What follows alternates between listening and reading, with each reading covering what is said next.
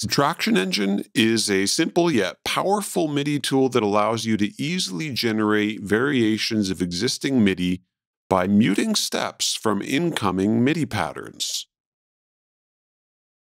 To install Subtraction Engine, navigate to the folder where it was downloaded. Double-click to open the zip file. This will reveal a Subtraction Engine folder. We can drag the entire folder, including the user guide, or just the subtraction engine subfolder, into Live's user library. The user library can be found in the Places section of Live's browser. A typical place to store it would be in the Presets, MIDI Effects, Max MIDI Effect subfolder. But in my case, I've created a Manifest Audio folder where I will store all Manifest Audio devices. The important thing is that I drag this folder into Live's user library. Any Max devices stored in the user library will automatically be ingested into Live's Max for Live device category. Now that all the files are copied into my desired subfolder of the user library, I can open it and navigate into the preset subfolder. This contains all the MIDI effect presets, and within the Max MIDI effect folder, the AMXD file, which is the default instance of Subtraction Engine. I can then add this to a collection by selecting the file and hitting the corresponding key on my keyboard. Crucially, Subtraction Engine does not produce any MIDI notes. Therefore, it must be fed MIDI from an existing MIDI clip or a MIDI sequencer prior to it on a MIDI track. Because Subtraction Engine is a MIDI effect, I need to insert it before instruments. Instruments translate MIDI into sound. It is not an audio effect, so I can drag an instance from the folder in which I've installed it prior to this entire drum rack. As I trigger this MIDI clip, I can mute steps. And you'll hear that it's muted both the hi-hat and the kick, as well as the hi-hat and the snare on the one and five of this one bar pattern, respectively. To do things with a little more control, I'll probably have more fun placing the subtraction engine directly on a specific drum rack pad such as the hi-hats that are currently playing 16th notes. To do this, I can simply drag it onto that specific drum rack pad. From here, I can mute steps to create more interesting patterns. All of the steps are available for key or MIDI mapping. Now, where it gets more interesting is that I can randomize which steps are on and which are off by clicking the dice button. Currently, all steps have a 50% chance of being randomized. I can adjust each step's individual probability above or below that. At 0%, a step will never be randomized. This lock will show up indicating it will ignore randomization input, but you can still turn it off or on. So it is in manual control mode only. And as many times as I click the random button, that Step's state will not change until I change it manually. So I'm going to click this button to unlock that step, which I could also do by simply dragging the probability slider to a non-zero value. And now where it gets interesting is if I engage auto dice mode by clicking the button that says manual. Now, all eligible steps, in other words, steps that are not currently locked, will be randomized according to their probabilities at this interval specified here. So currently, all steps are randomizing every bar. To make it somewhat more musical, I will increase this to a two bar interval. And I will increase the probability of randomization a bit.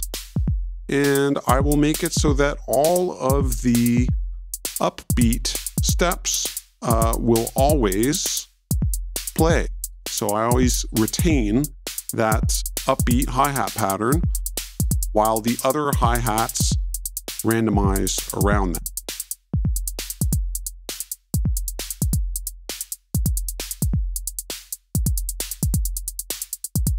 I can also currently turn all the unlock steps on until the next Autodice sequence, or off, or invert their state.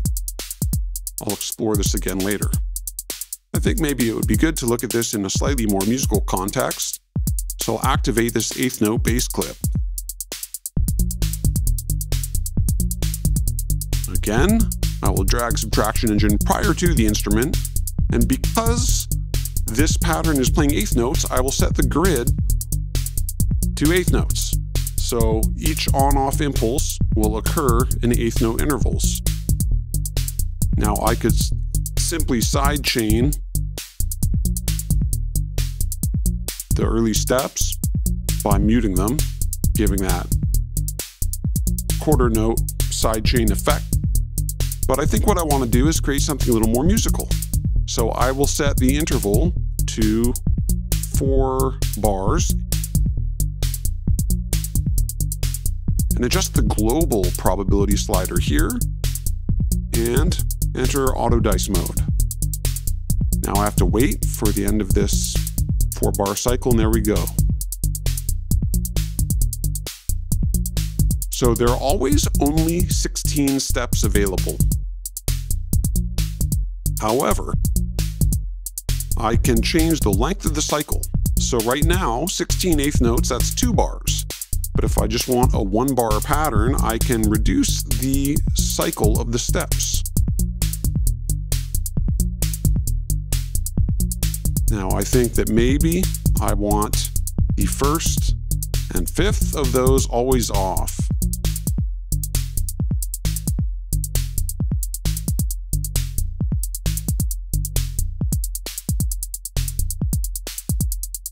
So I could uh, manually turn some of those back on to make it a little more musical and maybe increase the probability and reduce the interval.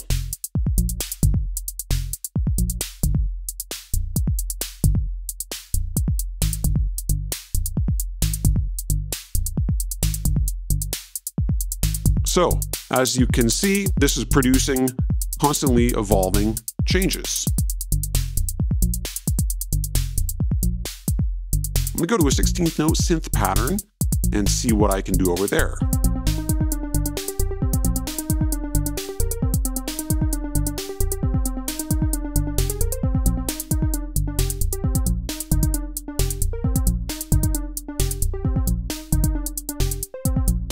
So I think this part would respond much better to a four bar interval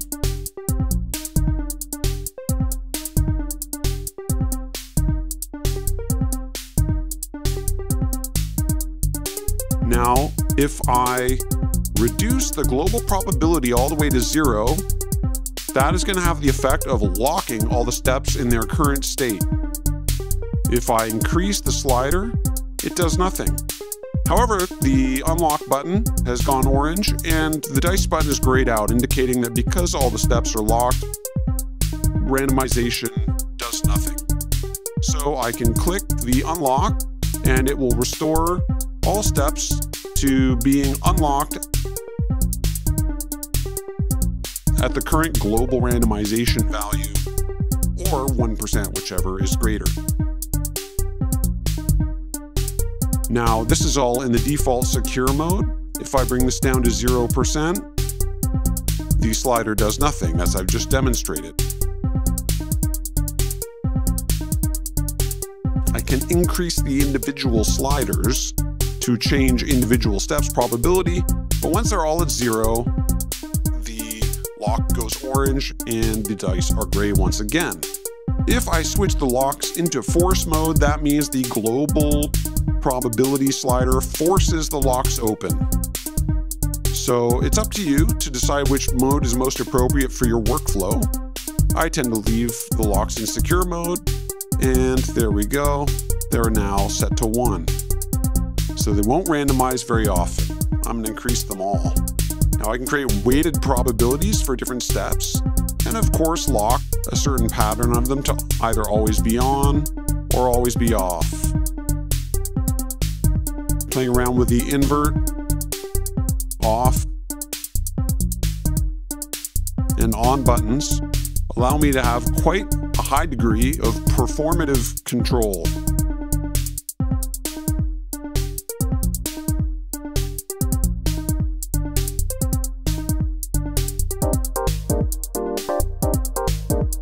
Now, Live 11 has made MIDI note probability a thing. But the problem is that chords are treated as independent notes. So you can't really mute or set the probability of an entire chord going off and on at the same time. But Subtraction Engine treats all notes on one step together. So I can easily mute or probabilistically mute entire chords together. Now, if I set this to a auto dice interval, and I decide I like what it's done, I can simply toggle out of auto dice mode to sort of freeze the steps in their current state and possibly make further adjustments.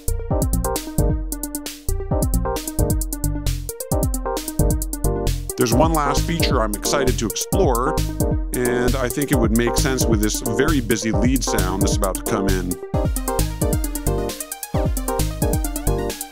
And that is the cycle masking. So it's a very busy pattern. So I'm just gonna turn a bunch of these off manually, and I'll shorten the cycle to an irregular rate. So the lead pattern, it's still four bars long.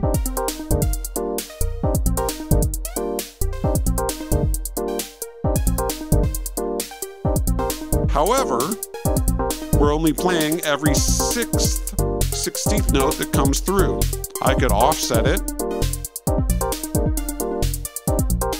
by either unmuting the second step or by adjusting the cycle start here.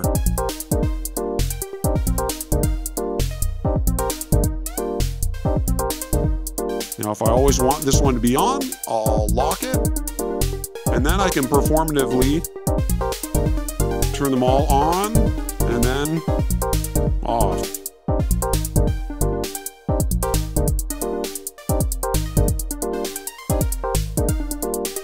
or I can just hit the invert button twice in either state.